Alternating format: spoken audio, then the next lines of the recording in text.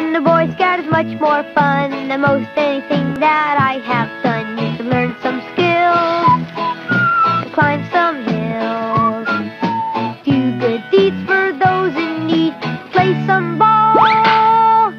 And that's not all. Hiking, biking, making friends, and just doesn't seem to be an end to all the things that Boy Scouts do. So why don't you be a Boy Scout?